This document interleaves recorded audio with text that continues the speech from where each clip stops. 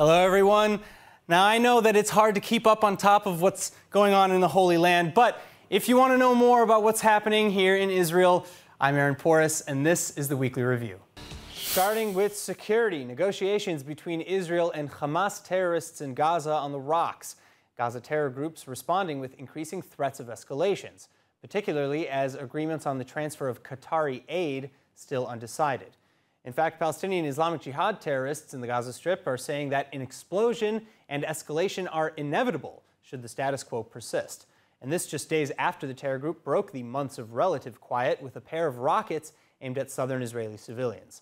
Tensions are not just rising along the Gaza border, though.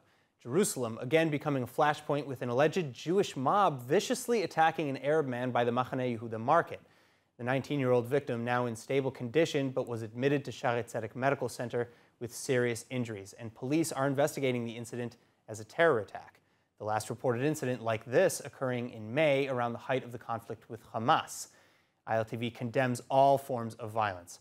Now, in any case, Israeli Prime Minister Naftali Bennett meeting with Egyptian Intelligence Minister Abbas Kamel in Jerusalem, the two discussing diplomatic, economic, and security related issues between Israel and Egypt. And Bennett likewise invited for an official visit to Cairo to speak with President Sisi within the next few weeks. This would be the first official visit to Cairo by a sitting Israeli prime minister since 2011. The last unofficial visit reportedly being by former Prime Minister Netanyahu, who took a secret trip in 2018. Now, in other news, from Cairo to D.C., Prime Minister Bennett setting a date to fly to Washington as well, where he'll meet with President Joe Biden for the first time since their respective administrations began. And they'll have plenty to discuss between Iran, Hamas negotiations, and of course the Taliban takeover of Afghanistan. Confirmed for Thursday, August 26th, Israeli Prime Minister Naftali Bennett and U.S. President Joe Biden scheduled to meet at the White House. Bennett set to take off from Israel on Tuesday, the 24th and White House Press Secretary Jen Psaki saying that the visit will, quote, strengthen the enduring partnerships between the U.S. and Israel, reflect the deep ties between their governments and people, and underscore the U.S.'s unwavering commitment to Israel's security. The whirlwind visit not likely to last more than 48 hours, though, due to coronavirus precautions, and the time spent on very serious issues. First, coming off of talks in Cairo, Bennett and Biden set to discuss both security and peace talks with the Palestinians in the West Bank and Gaza. Then, likewise, with respect to Iran, Bennett saying that the two leaders have already completed a process of formulating a coordinated approach. תפיסה של שותפות, תפיסה שיעדה לבלום את הפעילות האזורית השלילית של איראן, של אי היציבות, של פגיעה בזכויות אדם, של טרור, ומניעת התקרבות של איראן The currently dicier topic, then, being the consequences of the Taliban's victory in Afghanistan. The Biden administration facing significant criticisms over the way it withdrew its U.S. armed forces, particularly from foreign allies who are now increasingly saying that the United States has lost credibility both to make demands and promises, and especially in the Middle East.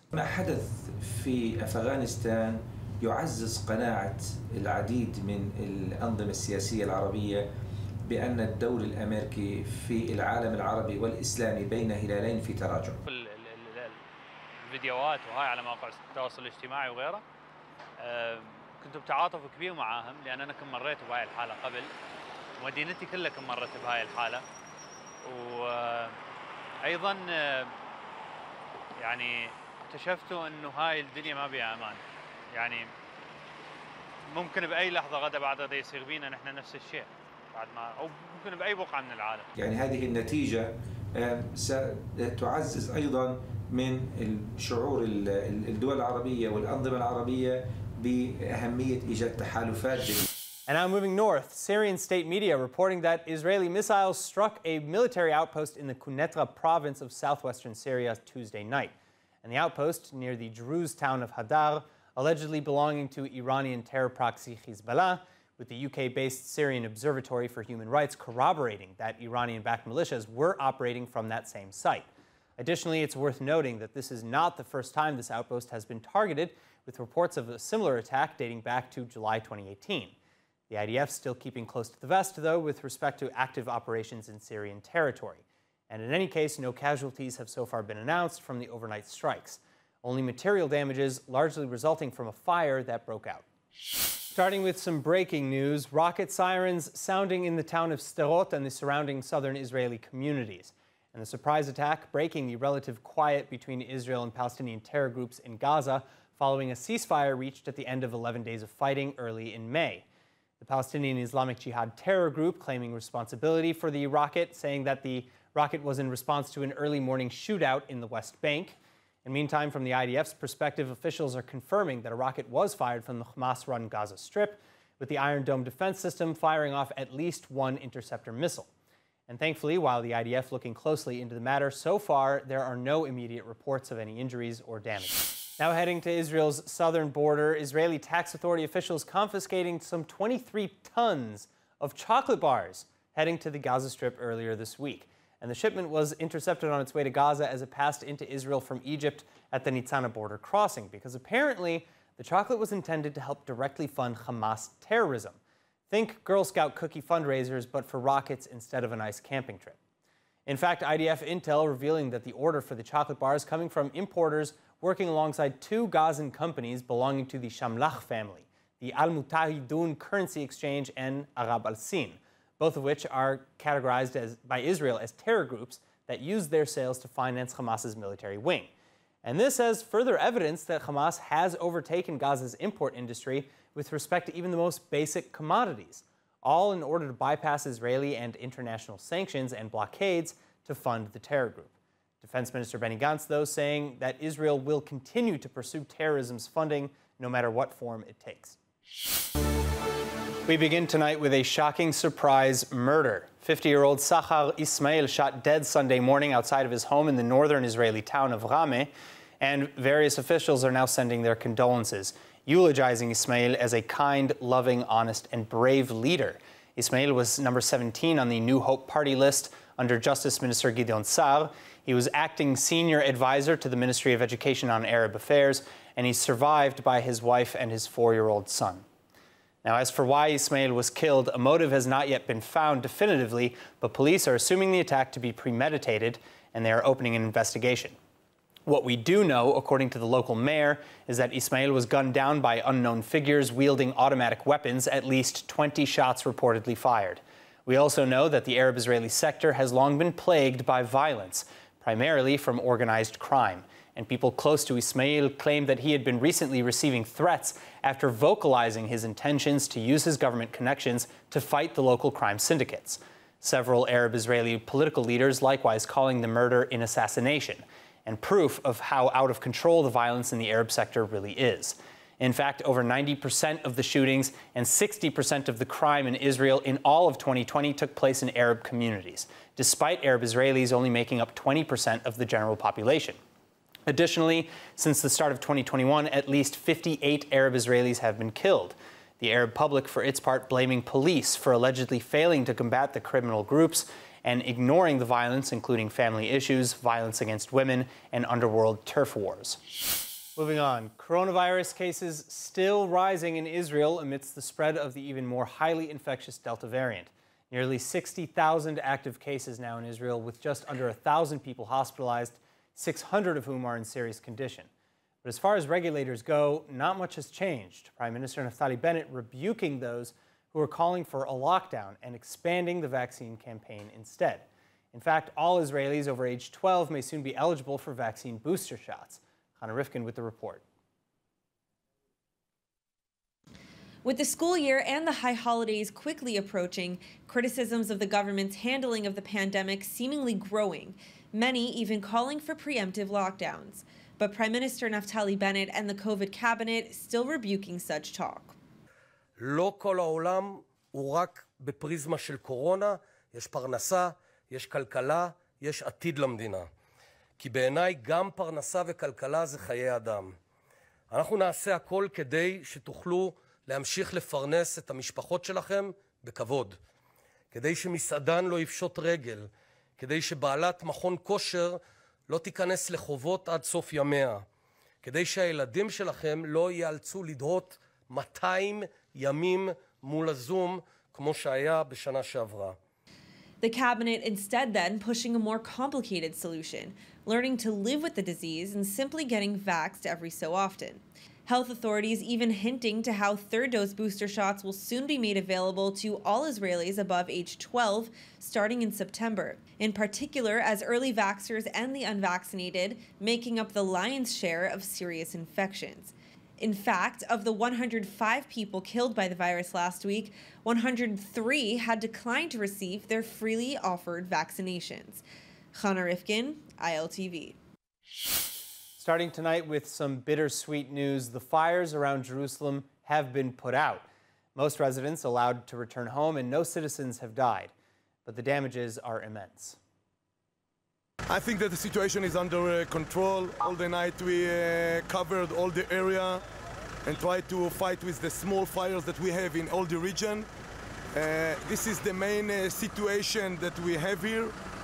To my humble opinion, I think that the firefighters doing a great job in fighting with the fire all over uh, Jerusalem.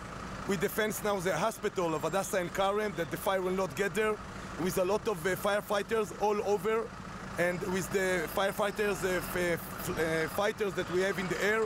And we combined all this together with the uh, IDF, with the Homeland uh, Security of the IDF, with the police. And uh, I think that we are doing a, do a good job. It's very hard, uh, but we are uh, on it.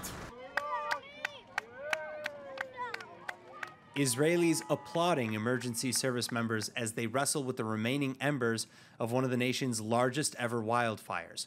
Over 20 water bombers and specially outfitted planes, and roughly 1,500 firefighters, including from the Palestinian Authority and abroad, included in the efforts lasting over 52 long hours. But Fire and Rescue Services Commissioner Dadi Simchi is announcing Tuesday evening that the blaze had finally been contained all residents in the area allowed to return to their homes, with the exception of patients at the Eitanim Hospital and specific homes in Ramat Raziel and Givat Ye'arim. Still, a feeling of unease remaining among the ashes. Over 6,000 acres, or nearly nine and a half square miles of land, have been devastated, and officials are putting blame in human hands. Investigations are still ongoing, though, as to whether it was by negligence or intention. And now for some celebratory news. The first Israeli baby to be born in Dubai has finally arrived. And the baby girl, born on Saturday last week, perfectly coinciding with the first anniversary of the signing of the Abraham Accords between Israel and the UAE. The head of the mission for the Israeli consulate in Dubai, Ilan Stolman, and his wife Jackie welcoming their daughter Maya, who was delivered by an American Muslim doctor at Dubai's Mediclinic Hospital. Maya is, Maya is the Stolman family's fifth child and the first ever individual to receive an Israeli passport on UAE soil. And Stolman's adding on social media that we are especially delighted by the symbolic timing of her birth, with the head of the mission also noting the outpouring of congratulatory wishes that the family has received from both local and Israeli officials. Now moving on, although the 2020-2021 Tokyo Olympics are over, Israel and its champions are still celebrating. Yesterday, Israeli Prime Minister Naftali Bennett and President Isaac Herzog hosting a special ceremony to honor Israel's largest and most successful delegation in history. And uh, I want to show you now a little look at what Linoy Ashram and uh, Artem Dolgopyat, our two of our three gold winners, had to say. אנחנו עומדים כאן היום כאלופים אולימפיים. עדיין לא מאמינים ומחכים שמישהו יעיר אותנו מהחלום הזה. אולי בעצם עדיף שלא תעירו אותנו. כשהיינו כאן בחודש יוני, לפני בסך הכל חודשיים, נרגשים וחוששים, ימים ספורים לפני הרגעים הגדולים של חיינו, על הבמה הכי גדולה בעולם, העזנו אולי לחלום על זה, אבל לא לומר בקול רם. בספורט התחרותי, עבודה סזיפית של שנים מתנקזת לשעה או שעתיים של מבחן, כשעיני העולם כולו מסתכלות עלינו. אולי זה גם ככה בחיים ואפילו בגדול יותר. שתיים או שלוש החלטות אחרי עבודת הכנה משמעותית, יכולות לקבוע איך תיראה המציאות של כולנו. Uh, joining me now, obviously, with more uh, news related to the Olympics, none other than Chana Rifkin. Chana, thanks so much for being with us. Uh, what's going on here? Pleasure to be here. Now, you could feel their graciousness watching this. Mm-hmm. Linoy related to the warmth she felt from everyone in Israel just before this, and she brought to life that feeling that's, that you or I or anyone really could get from, I worked hard for so long, and it all comes down to a few minutes or a few decisions that could change reality. in her case, it's on the world stage and it becomes a part of history. All right. Well, yeah, I, I, it sounds like an incredible feeling. I mean, I can't imagine what it would be like to, to come home with a gold medal like that. But uh, let's talk a little bit more about, about the ceremony. Uh, it was filled with songs, speeches, and, and what else? Yeah, so songs, speeches, um, songs from the IDF. They came the IDF uh, band, and um, of course the national anthem at the end. Um, like you said, President Herzog and Prime Minister Bennett both spoke, along with some others. Um, Herzog mentioned um, that him, Rivlin, and Rivlin's son, they were representing Israel at the Olympics as visitors, and they watched everyone. And I quote, he said, "All the ones who won medals, those who gave everything they had." Those who were so, so close, and he said they were on the edge of their seats. Um, he even said, You gave us a lot of heart attacks. Um, we were there to watch every effort. Um, it's it's pretty exciting after a year and a half of COVID, I have to say, to and also conflict in May uh, with Gaza and also internally within the country to have something positive to bring us together. So it's uh, a renewal of, of pride in a way. It's some, something to be really proud about coming together behind uh, behind these incredible athletes. Uh, Bennett also made a, a point of, of, about the importance of hard work and patience, the payoff which uh, Linoy spoke of earlier that you mentioned. Uh, she said it so many times: push until you feel like you can't, and then push some more. Uh, you know, so that's it's it's really incredible. Is there anything else you want to share with us, Hannah? Yeah, I, you know, Bennett, he keeps coming back to you did it for the kids. The kids are watching you. All the kids are watching you, and it really shows that you know hard work is the only way to get to achieve your dreams and to get what you want. You don't get anything out of instant gratification. And I think it's really great how these Olympians, all the Olympians, whether they won medals or not, they have they have accepted this upon themselves as being role models for for children, for youth of Israel. So I think that's really great. All right. Yep. Leading the next generation. Couldn't be. Couldn't we? Couldn't have had a better delegates for couldn't that. Couldn't be prouder. couldn't be prouder. Chana Rifkin, thank you so much. Thanks for having me. Our final story tonight huge news from central Israel. Ramat HaSharon, just north of Tel Aviv, celebrating its 100th anniversary. But life in the area going back at least 1,500 years to the time of the Byzantine Empire. At least this according to new evidence unearthed by Israel Antiquities authorities. The discovery including a large wine press, a gold coin, and a bronze chain. Of course, for more details, we turn now to our favorite archaeological segment, Can You Dig It? with Israeli tour guide Anat Harel.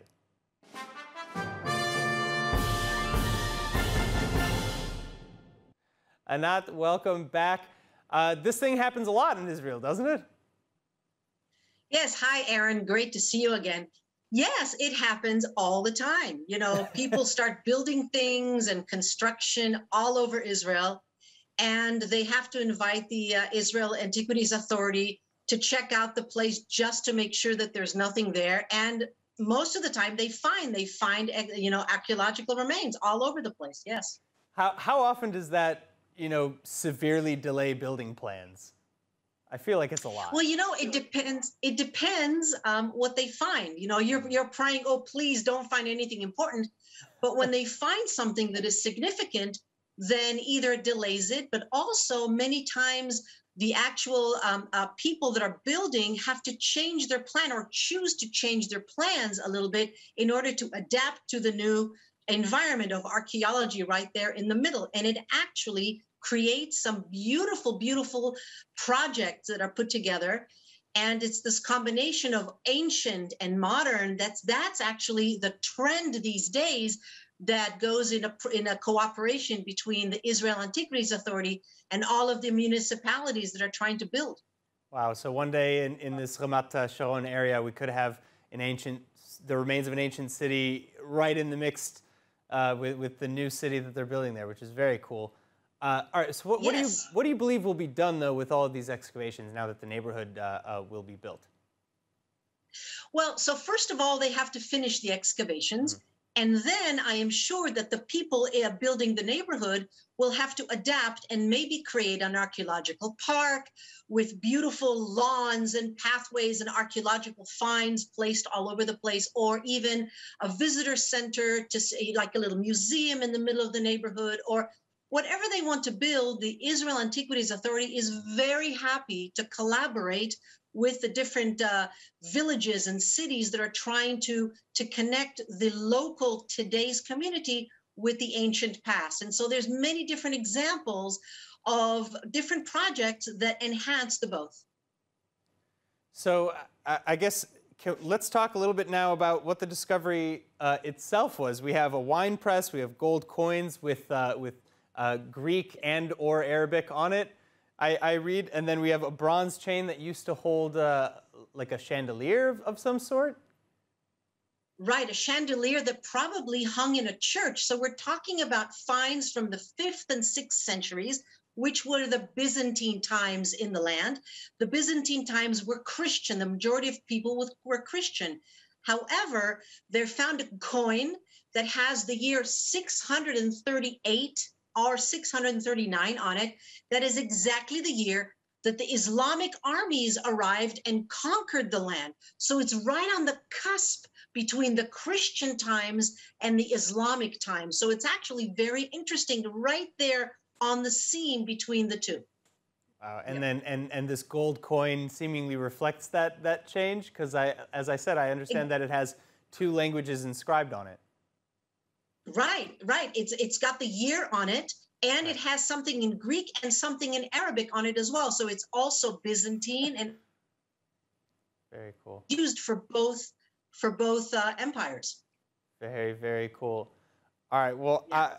I, I'm loving all these uh, exciting finds, and I'm sure that we're going to find another one because we're always developing in Israel, as we've said. Anat, until the next Can You Dig It segment, thank you so much for joining us. Thank you, Aaron. And that's it for ILTV's weekly review. I'm Aaron Porras. See you next week.